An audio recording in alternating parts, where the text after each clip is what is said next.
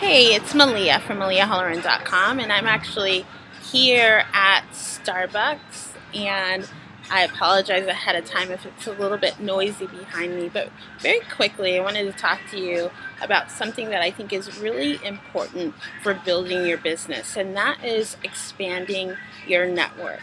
Now, a lot of us work from home, and when you're home all day, it's really difficult to expand your network. But in order for your business to survive and to grow, you have to expand your network every single day. So, here are a couple things that you can do. You can hop on Facebook or Instagram or Twitter or any of the social media sites and expand your network by reaching out to people every day, meeting new people, uh, encouraging, inspiring, leaving comments, and basically building relationships with people, with people that you already have in your existing network as well as, as new people. So expand, grow, find things that you have in common, and, um, and become friends and build your relationships.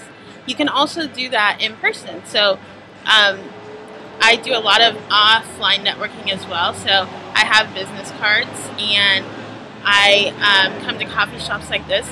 You never know who I'll meet or who I'll start talking to. Um, it's always good to have business cards on hand.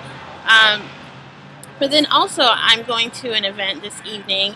It's actually the debut of Moms Helping Moms. It's a mom's night out, which is is awesome. And whether you're in San Diego or anywhere around the world, there are probably meetups or things that you can do in your local community to be able to expand your network. So tonight before I go to the event, I'm going to set my intentions and I think this is really important because for me, if I don't set intentions, I'll go in unfocused and really, um, I, I'm an introvert, so I'll kind of withdraw and I have to be really careful not to do this. So I always set my intentions. That could be meet five new people.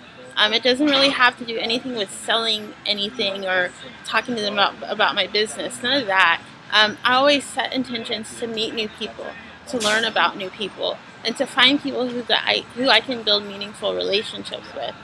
Um, so I would encourage you, if you're going to a live event, to definitely set intentions, have business cards, and go looking for people that you can connect with, that you can partner up with, because the relations that the relationships that you meet at events and at networks are going to be networking groups are going to be amazing relationships that you have for a very long time. So hope these tips help you. Again, this is Malia with MaliaHolleron.com.